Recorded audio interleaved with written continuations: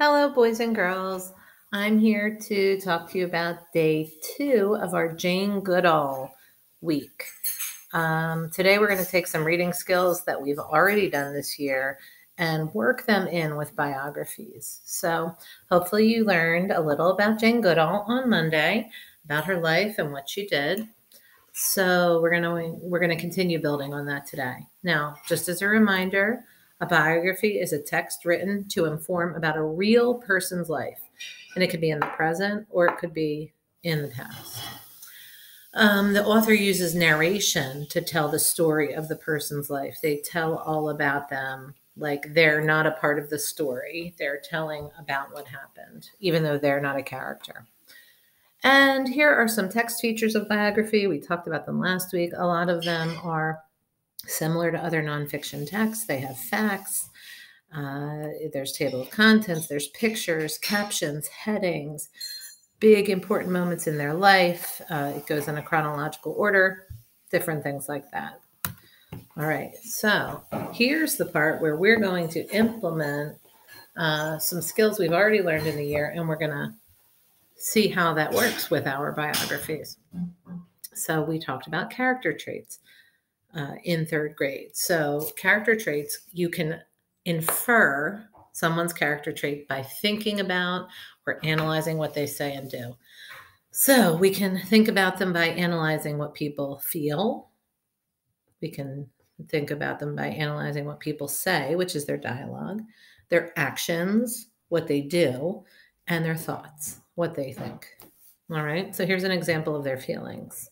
I'm reading out of the red box, so follow along with me. When Seth saw the pile of junk, a feeling of excitement bubbled up inside him. He couldn't wait to begin building the object he was imagining. So, hearing that about Seth, you can infer that Seth is creative.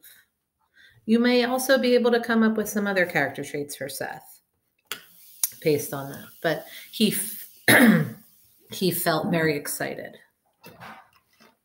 That's what we inferred on his feelings. Take a look at the purple box and let's think about dialogue. This is how we're going to split the work, Daniela said sternly. It'll work on the. I'll work on the poster while you two work on what we're going to say for the presentation. We can infer that Daniela is bossy. There's a word in there that describes how she said it, which is sternly and she took charge and told other people what to do. So we can infer, infer that she's bossy. We can infer character traits by looking at someone's actions. I'm reading out of the green box now. Brandon glanced at his math assignment and sighed. It would take too long to do these five story problems. He quickly scribbled some random numbers on the lines and slammed his book shut. Done we can infer that Brandon is lazy. So think in there, what makes him lazy? He decided it would take too long. He scribbled some random numbers and then he slammed his book shut. He didn't think about them, he didn't use strategies. He just wanted to get it done. Brandon is lazy. We can infer by analyzing someone's thoughts. Kelly wondered what would happen if she told her dad that her mom said the sleepover was okay. And if she all if she told her mom that her dad had already approved the sleepover, Kelly grinned. I think it will work. This is what Kelly's thinking. We could infer that she's devious or she's trying to be tricky. Okay, so these are four character traits. I'm going to skip ahead. Here's a bunch more. This page should look familiar to you. We used it, we glued it into our um, one of our, I believe, our reading journal, and we referred back to it when we needed to find character traits. So I have this in here because you're going to need to use it. So here's your job. You have a short three paragraph page about Jane Goodall's life. It gives you a brief overview. So you're going to read through this. No adult is reading today, you're reading.